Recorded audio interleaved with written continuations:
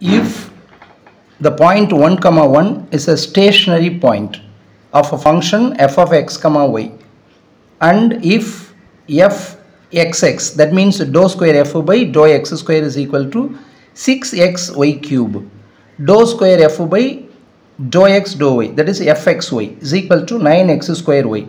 Dou square f by dou y square is equal to 6x cube y.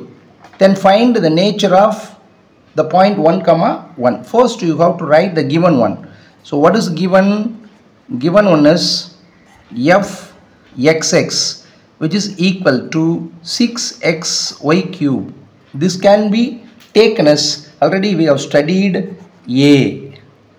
Next to what is given? Fxy which is equal to 9x square y which is equal to you have to take as b fyy dou square fy dou y square which is equal to 6x cube y which is equal to c. So therefore the point 1 comma 1 is given.